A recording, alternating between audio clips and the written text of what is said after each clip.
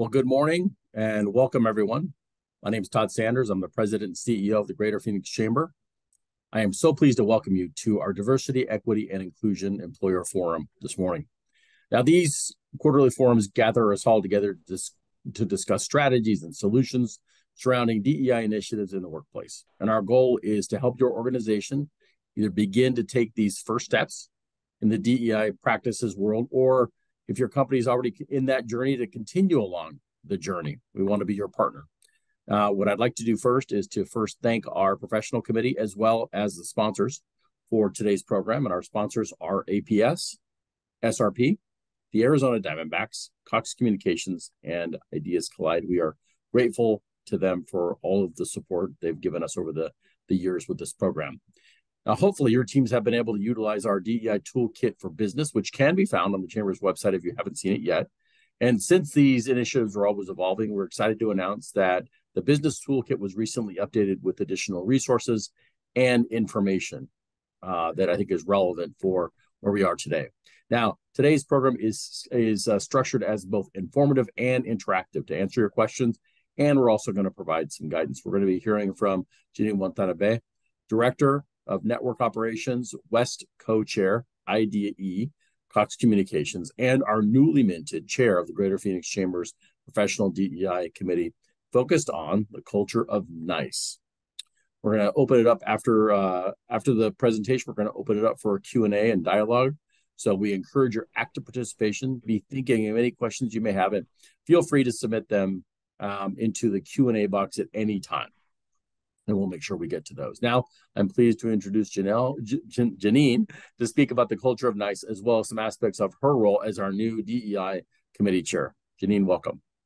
Thank you, Todd. I really appreciate it. I'm going to share my screen, and if you could be so kind as to let me know, um, just to make sure everybody can see it, I would appreciate it. Is that yes. coming up okay for everybody? Perfect. It is up. Thank you so much. Well, it's a pleasure to be here today, and I'm super excited to uh, have been named the new chair of the Professional DE&I Committee for the Chamber. We've done amazing work over the last couple of years that I've been involved, and even before that, um, our toolkit is a great resource for everybody, and I'm really excited to see uh, what we're going to do for the committee as we move through the year. So thank you all for coming today.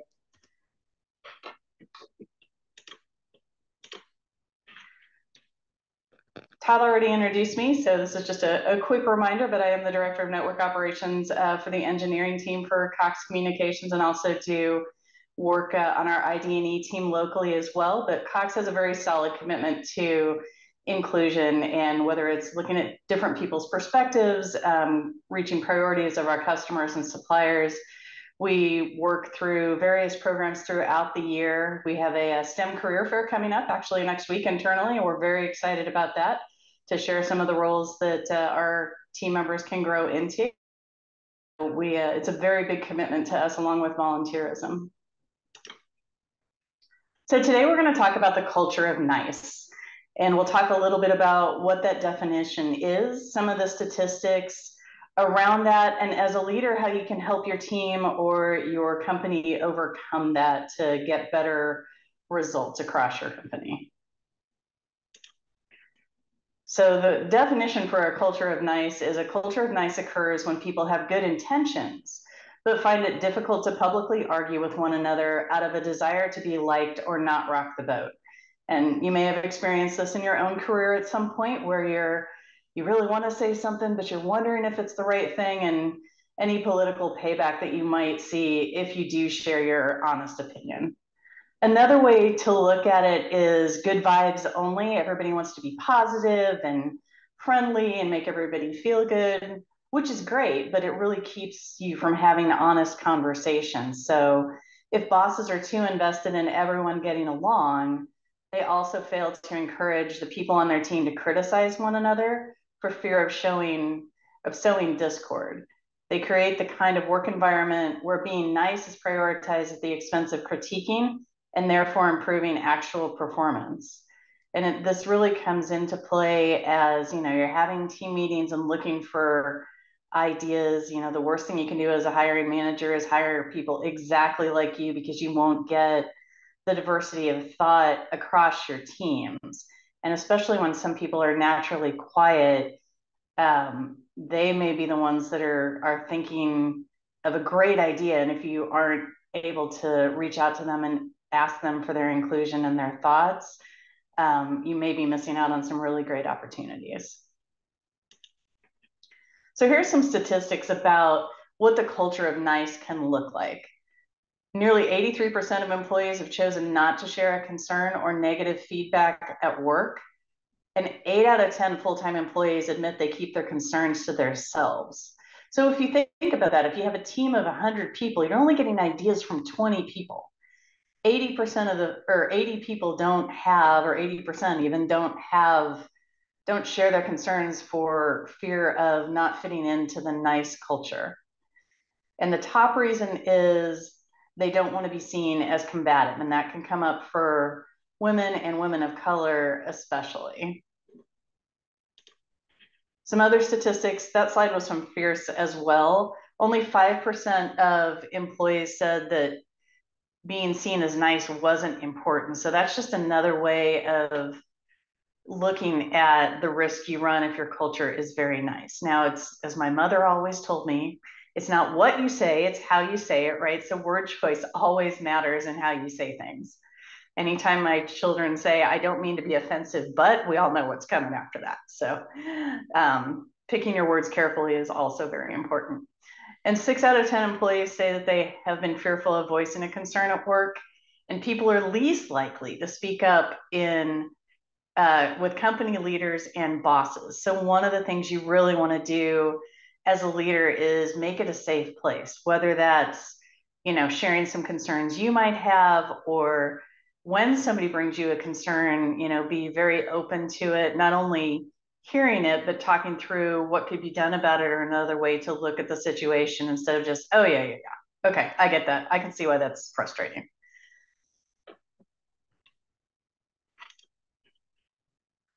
So this was a quote from Harvard Business Review that I really liked.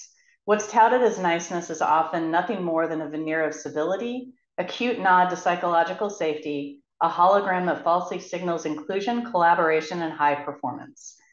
In many of these cultures, leaders have simply spread a thin layer of politeness over a thick layer of fear.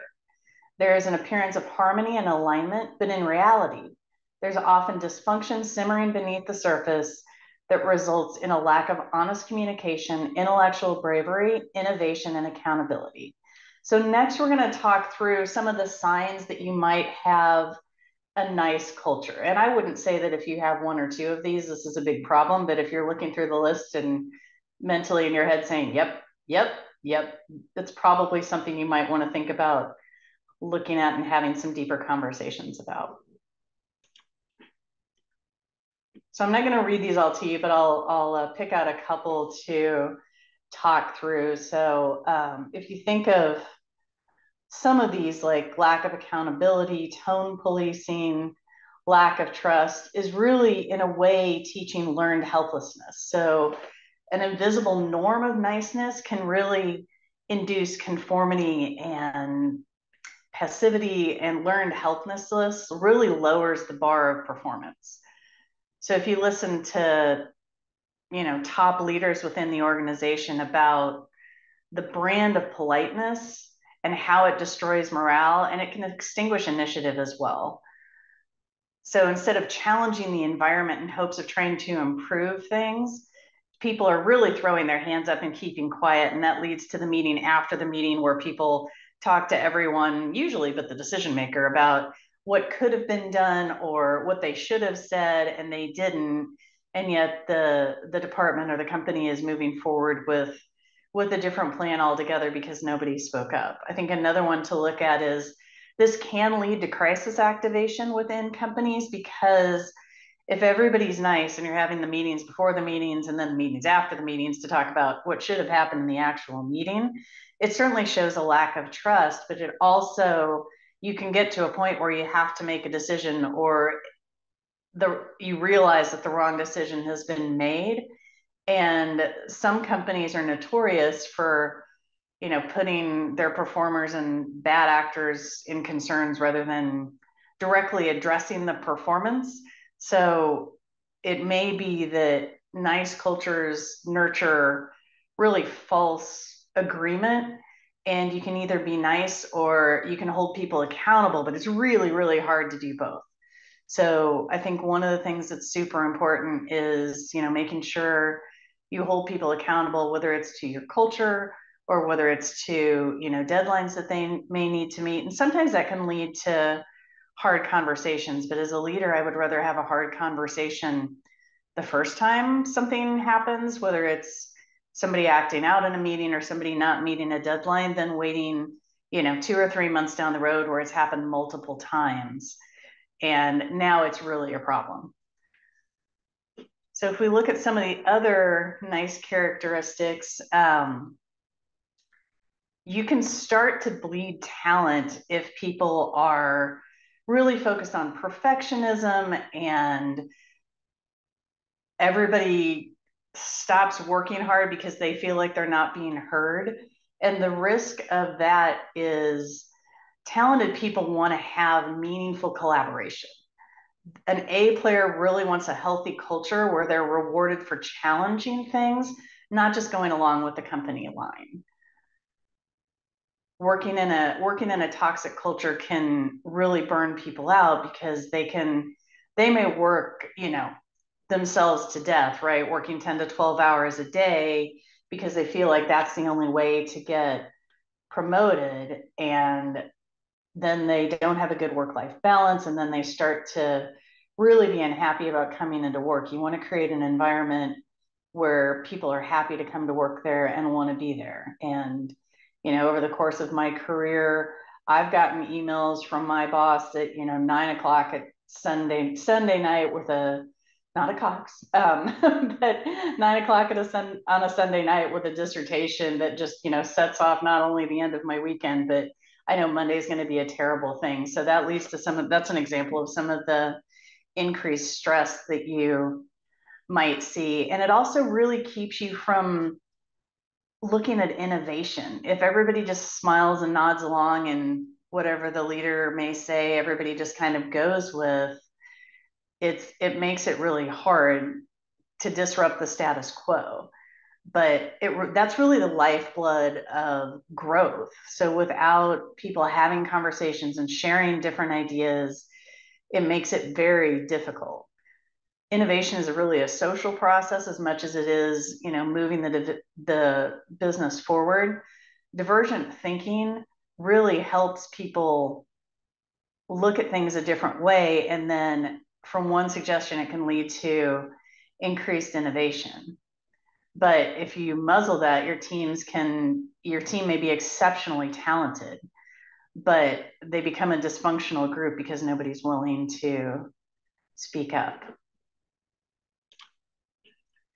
So, what leaders can do with the culture of nice all leaders have good intentions. I don't think any leader walks into work and says, okay, I'm going to really mess with my team today. That's just, that's not what leaders do. But pursuing the culture of nice is a good concept because you you can gain approval that way it does replace genuine inclusion and motivating people to do work instead of holding them accountable so if you think about avoiding conflict to gain approval, it's really an, a reflection of the leader's desire to be liked.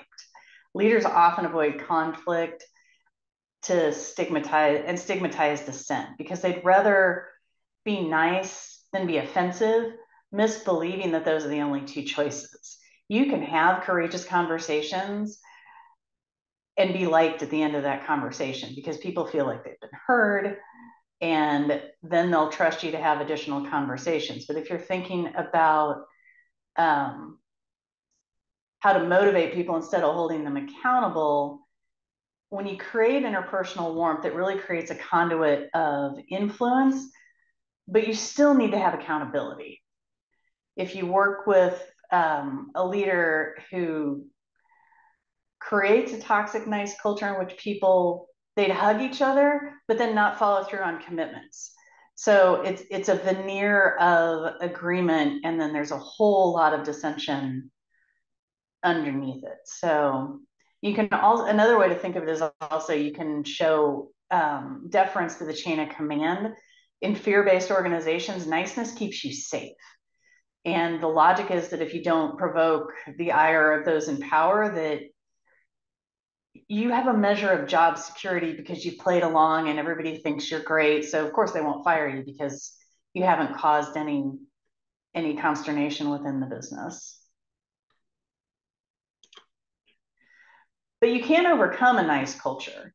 When you think about um, what you can do as a leader, if you implement a culture of giving and receiving and asking for honest feedback, everybody makes mistakes, right? And if as a leader you can own that and say, hey, I, I messed up. I I did this wrong. I made the wrong decision. I made this in the wrong direction. Here's what I was thinking, but this is what happened. So I apologize to you guys and don't just say you apologize, but actually say, do a full apology of what you apologized for, why it was bad, and then how you're going to fix it going forward.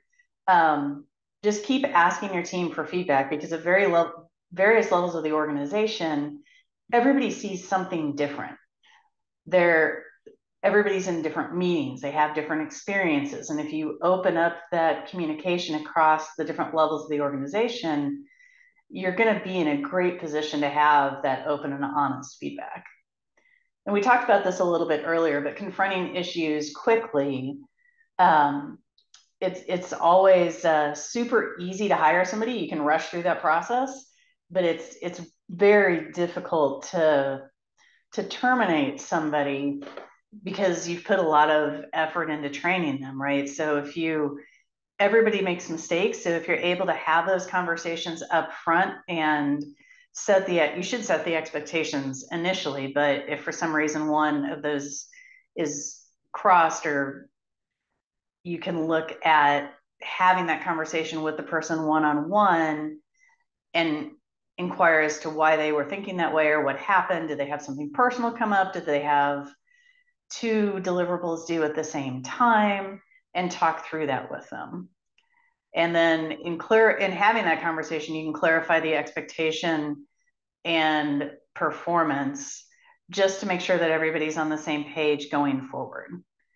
And sometimes, as a leader, the best thing you can do is provide air cover for people who are brave enough to speak up and speak with candor as you're trying to change the culture. You want to reward that behavior. And even you yourself challenging the public status quo, whether it's, you know, we've always done this way. I find, you know, using the Ishikawa model and asking why four times to really get to the root of the problem um, when I go into a new role, that's something I always do when I get the, well, we've always done it this way. Well, why? Well, why? Well, why? And eventually you'll get to the, the root cause of what that looks like and why it's being done that way. And in, in doing so, you can have an open conversation about whether that's the right way or whether it's something that um, can be done better. And there are other things that you can think of as far as how to overcome the nice culture. Um, whether it's creating a 60 second statement to kind of outline the issues at hand, offering brief examples. But this really goes back to what we talked about um, in the last slide of clarifying expectations because ambiguity can really fuel toxic niceness. So, to clarify how you expect people to treat one another, hold each other accountable, you really have to be explicit on what you expect as far as intellectual honesty is concerned, including candid feedback and asking the tough questions. This change isn't an easy thing to do. So it's really imperative that you clarify and clearly explain the current state, the future state of where you want the organization to go, and how the transition between the two is going to work. You can't just come in one day and say, we're, this culture of nice isn't working. We're going to have to do something different you it's a it's a long it's a long process to change that but when you have meetings make sure there's an agenda make sure there are explicit types of meetings that you want to have to make sure people stay on task and most importantly capture decisions within that and as you practice this right publicly challenging the status quo that you as a leader may have helped create you don't need to, you shouldn't expect, I should say, others to really muscle through the fear and just decide to come in on Tuesday and start telling the truth. That's not how it works. You have to make it safe for people to do that. You have to model the behavior first. And you must show that the first few people who try it, that it's a safe thing to do when they demonstrate vulnerability within the meetings and show people that candor is now being rewarded, whether you have an internal recognition system or you can, you know, congratulate them in a team meeting, appreciate them for bringing things up. Um, and when others see that you put your ego aside as a leader and your defense mechanisms aren't up when people make question decisions or things that you have said, that really gives you the pride of authorship for what you've built and it helps reinforce the change. So, one of the things you can also do is schedule time to have a conversation with somebody if you need to have a tough conversation. Walking in when somebody's, you know, finishing up a meeting or is on a call um, and catching them off guard with a with a difficult conversation can really limit your success. So if you don't, for a performance problem as an example, when you don't address it in the moment, you're condoning the behavior and saying that it's okay. So if you hesitate to take action, you really create a lot of confusion. So if you hold people accountable privately and respectfully, people won't repeat and respect or and will respect the new boundaries and have a choice to either adopt to the new norm or find a new opportunity that may fit them better.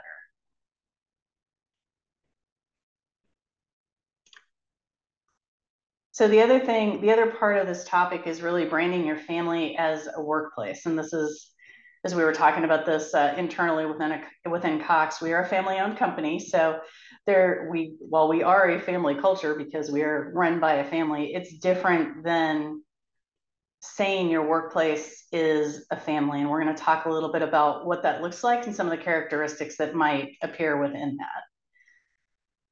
So the definition is branding your company as a family culture can backfire unless it really is a company with only family members. Labeling a company as a family might sound positive, and organizations and leaders desire a strong culture made up of employees who are bonded to each other and who push each other to new levels of performance. but when you when you think about what that really means i mean that's part of being a family culture is also part of the culture of being nice so most employees don't want another family. They want to really be a member of the team and be respected and build trust and have a common purpose as opposed to just being a member of the family. One of the things i thought um, was interesting was the implication in a family is that there are children.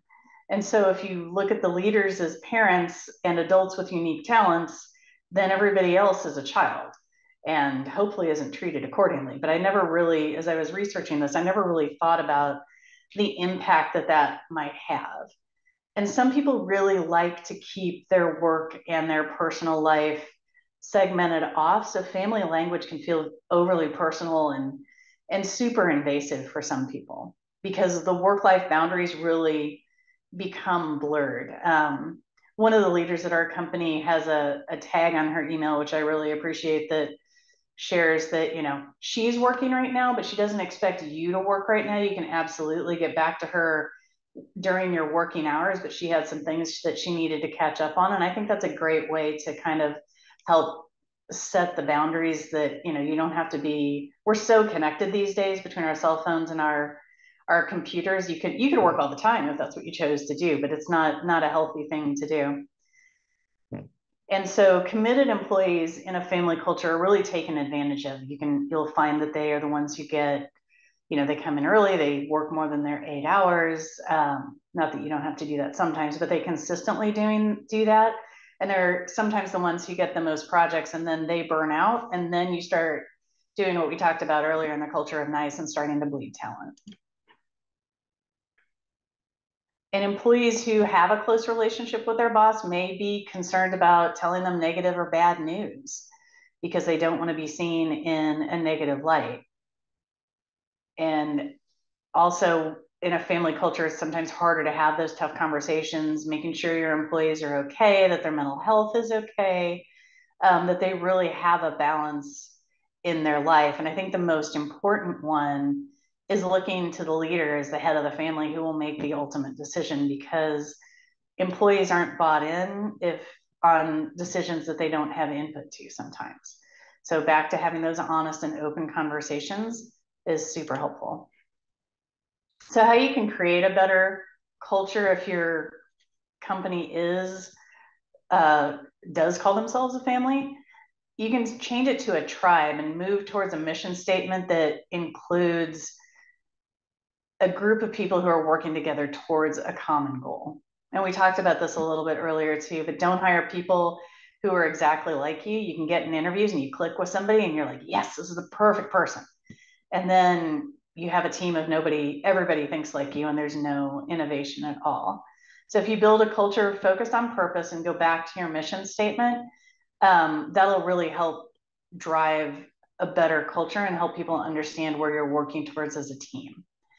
And the last one we touched on as well too is hire slowly and coach and fire quickly.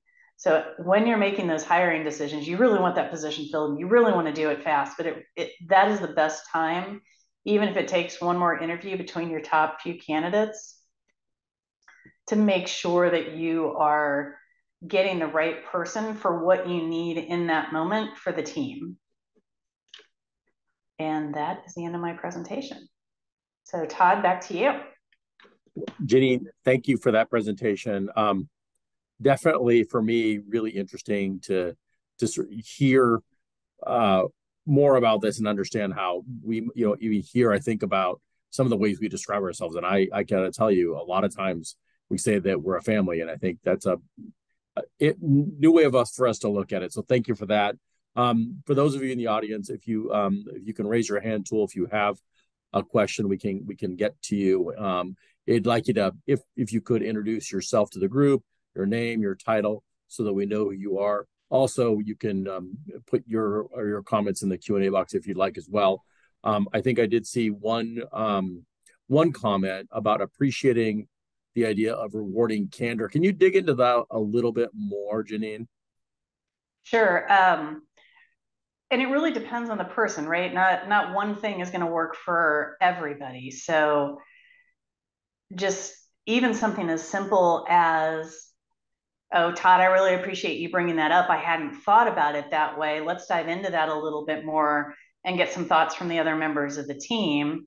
That allows you to feel validated and also brings other people along with encouragement to speak their truth.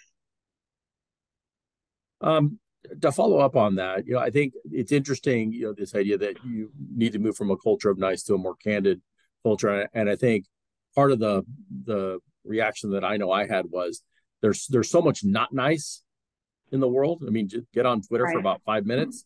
So how do you how do you avoid going from from sort of this nice to not nice um, and and confrontational and and really aggressive? Yeah, that's a hard balance, right? Because you you have to assume that everybody else has something going on in their life. Nobody's life is perfect every day. So some of the behavior that you may be seeing from people may just be because they're having a bad day, right? But you want to be supportive of people. You want to, you know, assume best intent always. And um, it, I think it's a hard balance to strike. I don't know that I have a great answer for that, to be honest. I don't know if any of the other committee members want to weigh in or not. You're, you're right. It it is a, a tough balance. I think uh, we have a question by Jeremy, and I know there's one in the chat. So Jeremy Rios, do you want to go ahead and lead off first? Yeah, thank you, Todd. Uh, Jeremy Rios here, project coordinator at the foundation. Um, so I, I, really don't have a question, but more of a comment. And uh, Jeannine, I want to say thank you so much for a lot of the points that you highlighted. Um, there are things that I personally um, try to emulate myself. And, you know, one of the things that this conversation really reminded me of is what the um, overall Latin demographic and group really goes through because it is such a divisive culture. And you know, as I identify as Latino, um, in my in one of my previous roles, you know, I used to have to host com- crucial conversations and courageous conversations um, surrounding you know Latin identity and you know, there was this constant plague of niceness culture to not offend anyone, um, because again, the Latin uh, group is such a divisive group with different uh, political um, ide- ideologies on either spectrum, as well as just you know values. Um, and so, you know, in my own in my own struggle, um, it is a constant battle. I I would say um, within my own group because you want to be able to get to you know the meat of the the questions and the meat of the conversation um, but it is it is hard because at the end of the day you don't want to turn anyone away. Um, and for me i mean you know I, have always and i'm wondering maybe now i have a question you know um, do you i guess in your daily life or in your practice you know working at uh, at cox you know is there like a culture of rather than calling out maybe calling in um, you know, to try to maybe emulate some form of inclusivity, or maybe I'm mistaken in that. Now, I, I love what you said about calling out versus calling in. I think that's I hadn't really thought of it that way, but I think that's that's some great vernacular for sure. I think for me, I think it's really important to develop personal relationships with my employees and understand where they're coming from. I had a I had a jaw dropping moment where one of the newer members of my team was the child of my children. So okay, yes, I'm old. I'll own that. But um, you know, thinking thinking about the different view that you know she might have versus my view on the world. I think just the fact that you know she and I were able to connect on some things, which is great, but she also has a different view, which I'm super excited about about different things that we could do because she did the she did the why thing to me on uh, one of our standard practices. And it really it really forced me to think and i i encourage more of that conversation. I'm definitely a leader who has an open door policy but i think personal relationships are really important so people feel safe. Sometimes my title alone can get people scared.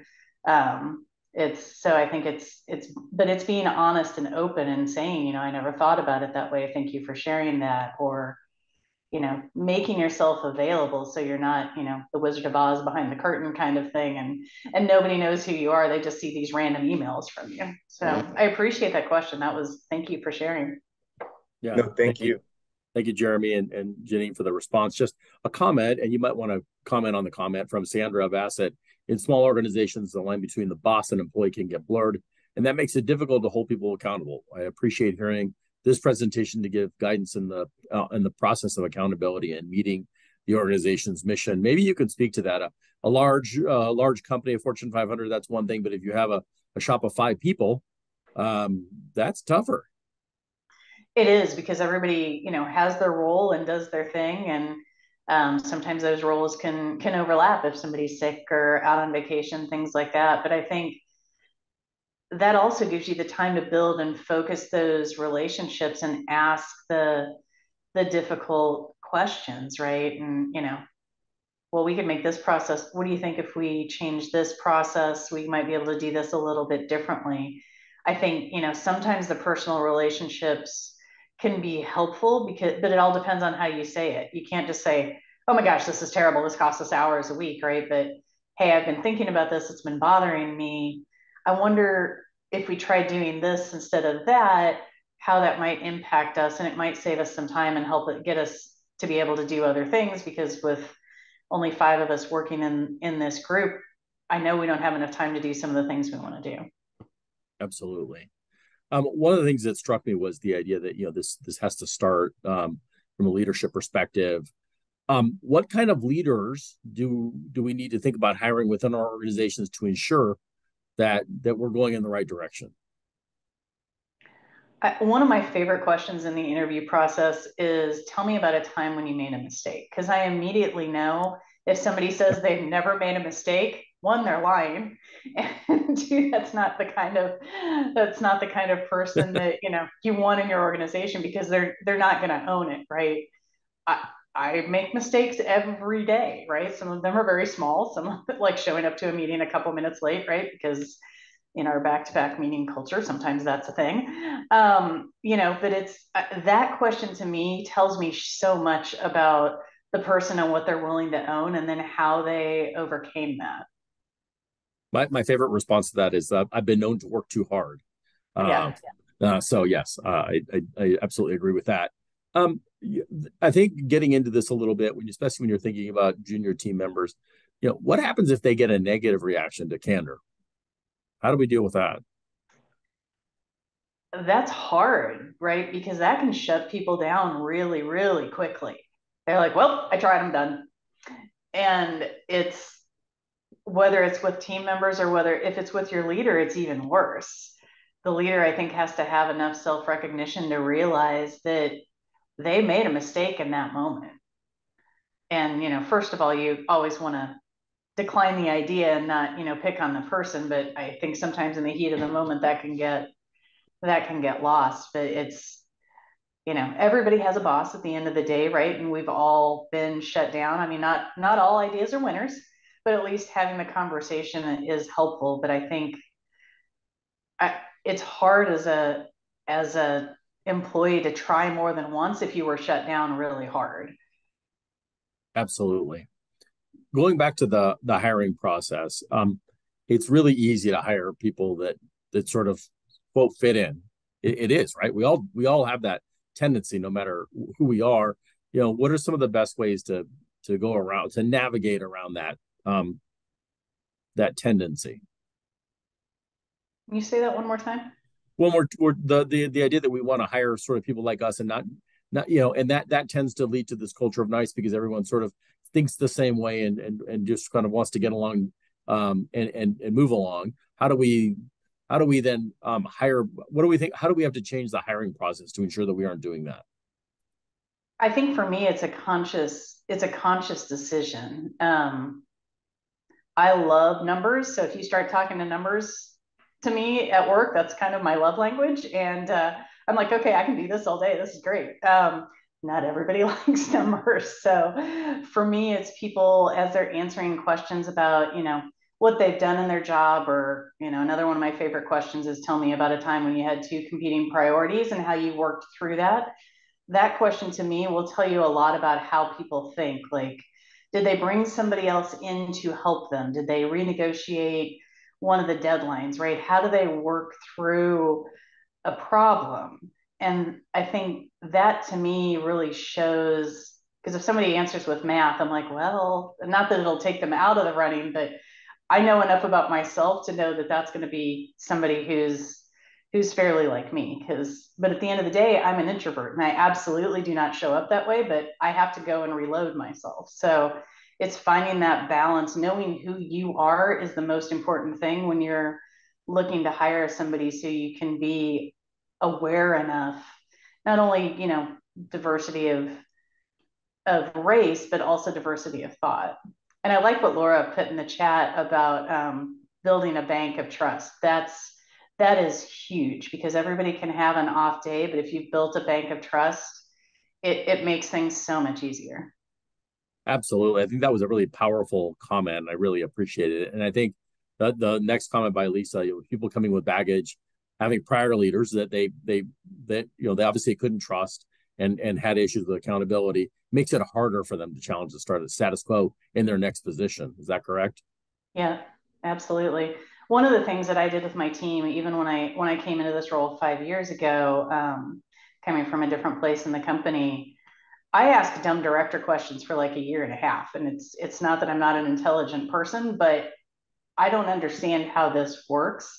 Can you help explain it to me? And that just showing that I was interested in learning the what and the why really helped build that bank of trust. So now people come to the leadership team across the board with you know suggestions of how we can do things better different ways to improve processes because that culture was set up initially because i wanted to learn and i wanted to understand the pain points to try to make it better. So that was successful for me. Hopefully that'll help some other folks as well. Absolutely. Looks like carla has a question. Carla? Hi good morning everyone. Carla morales from the arizona technology council uh, Jeannine, great presentation. I love the topic. Um, I do have a question for you and for the rest of the group because I love the chat, how everybody's contributing. Um, my question to you is, I think that nice is subjective, right? Because my interpretation of nice could be very different than my employee's interpretation of nice. Um, and along the lines with what Lisa said about the baggage that we all carry. I guess my question is it's twofold. One, how do we manage the previous experiences of somebody coming in or the previous experiences of a former person in leadership that impacts the current relationship now? How do you all, or Janina, from your experience, how do you all um, navigate that that former experience to create a nice environment that is applicable and fitting for the definition for the employee and for the leader? Thank you, That's a great question. Um, I think for me, the first thing I do with every new person that comes into my team is I set up a one-on-one for them for about 45 minutes, not only to walk through both of our backgrounds, get to know each other a little bit, but also share with them what the culture on our team is. And I prefer to think of it as a culture of calm versus a culture of nice. I, I want there to be, we work in operations and things break. It's just, it's part of the deal. um, but it's not, it's not that things break. That's not what gets me fired up at the end of the day. It's really about how we recover.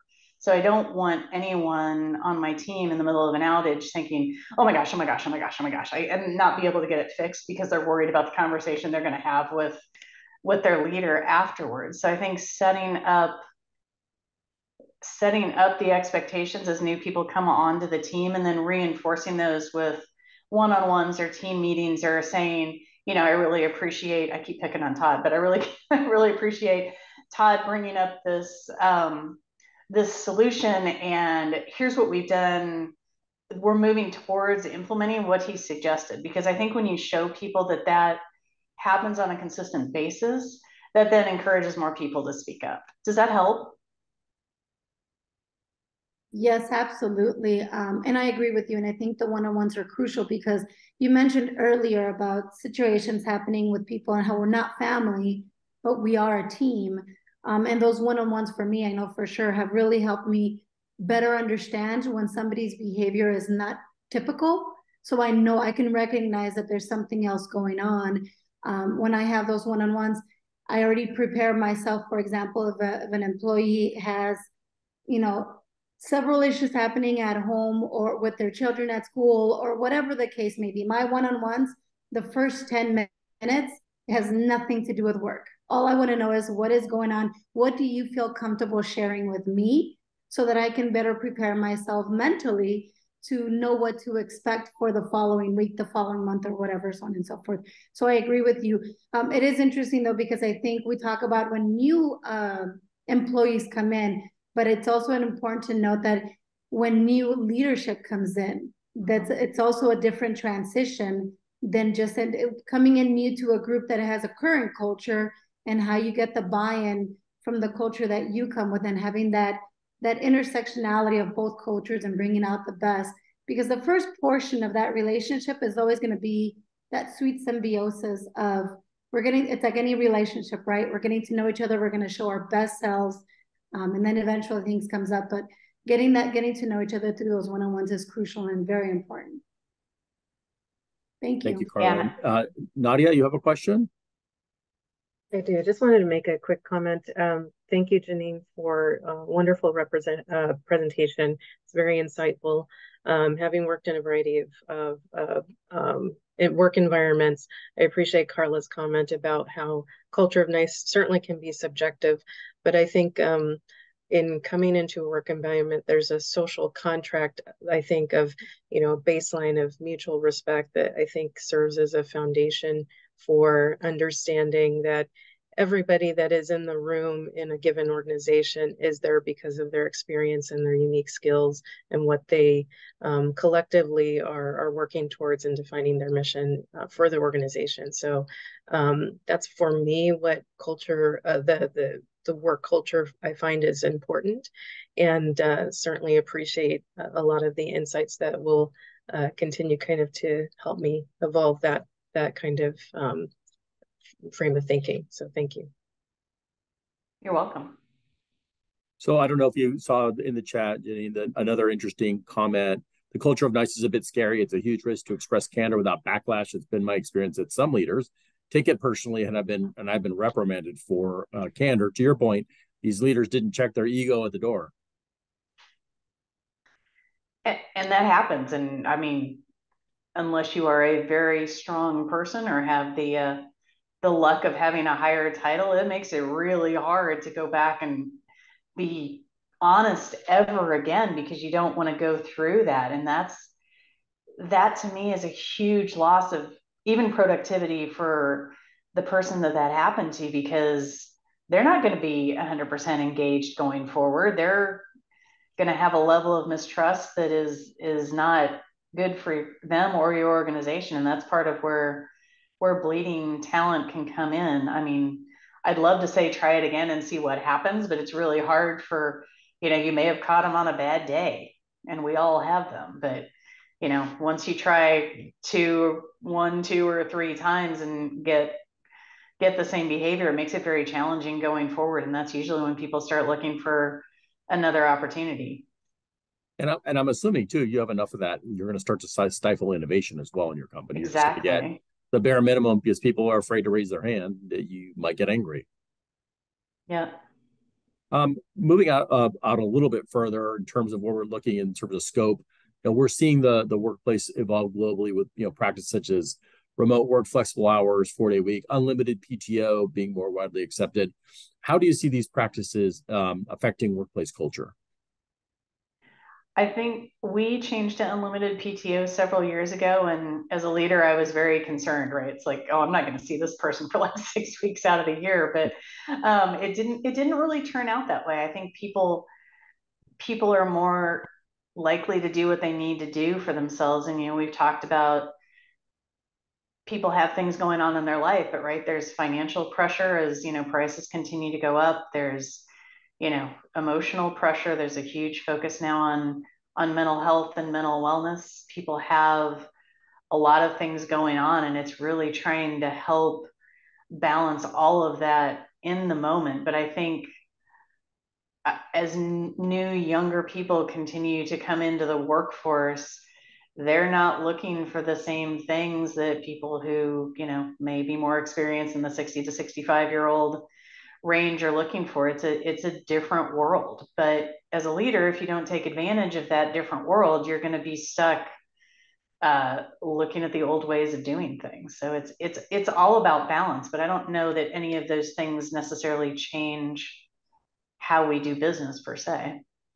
And just taking it one step further, I mean, we're all on a camera right now, and and I don't think this would have been anything we would have done prior to 2020. Um, it, does this new hybrid or virtual world help move away from a culture of nice or is it stifle it? Ooh that's a good question. Um i don't know. I think it depends because i know i've found myself since we've been working from home i work more because i don't have a you know two plus hour drive to and from the office every day. Um i think it all depends on the interactions you have. I think if you you know, there are certainly times of the day where I'm like, oh my gosh, another video call. But if you, if you show up honestly and authentically, this is this can be just as good as having an in-person conversation. Certainly, as humans, we need that personal interface. But this this is a this is a good way to do that. And some people are still a little sensitive about you know the surge in COVID that we may be seeing currently. I've got people on my team who are out sick right now. So they're this is a safer way for them to not be as concerned about their health. I think it's a it's like everything else. It's a mix and what you want to do with the opportunity that that you're given. One of the um, one of the things that I really value here is, is we're bringing in people that are new into the workplace or coming in from different parts of the country or the world that they're bringing in new ideas. But there is some of this that you mentioned, this idea that uh, well, we've always done it that way, and it's it's really great. Um, you know, you mentioned this a little bit. How do you how do you diffuse some of that? Because it's very comfortable to say, well, we've done it, it's it's great, versus embracing these new ideas by people that are coming in and and and providing some candor. I yeah, I think it's statistically companies that do the same thing the same way for decades aren't going to be around. I mean, we, we can take Blockbuster Video as my favorite example, right? They they did what they did really, really well until Netflix came along. So it's you have to continue to grow and evolve and that's to me that's the best way to do that is to have those conversations absolutely um, a couple more comments uh, maybe for a reaction each interaction is meaningful on video but i miss the breadth of hallway hellos and and boy that that's true uh, we we come in here wednesdays and and tuesdays and it's great to see everybody. It really is. Um, are we missing something? I think you can be. I mean we used to talk all the time about you know have your elevator chat ready to go in case you get you know stuck in an elevator with uh, you know a senior leader and you have a speech ready to go right? Um, it, it's different now. Like you have to be really intentional about the connections that you make because you don't see people in the hallways i was uh, we go into our corporate office as well and i literally saw somebody i hadn't seen in you know since pre-covid and it was it was shocking. it was it was great to see her, but um, uh, at the same time, I I completely agree. This, just that connection of different people because the way business gets done is through people. So having those relationships and you know knowing who to call when you need some help is is super important. So I absolutely agree with that. There's a interesting quote uh, um, in the chat by Eddie that there's a tension between the concepts of safe and candor. I think safe is like nice in the sense that it is created creating a false veneer and stifles challenging conversations. We can attempt to create a culture of dignity and respect without suggesting or implying that you can't say anything that might make you uncomfortable. And uh, it looks like Sanders agreeing with that. Any thoughts on on that comment? In my nobody asked opinion, dignity and respect are, are always the way to start, right?